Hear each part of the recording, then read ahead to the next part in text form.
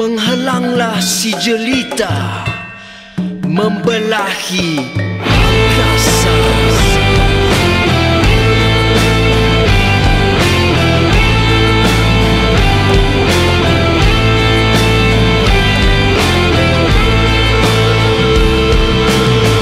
Lalu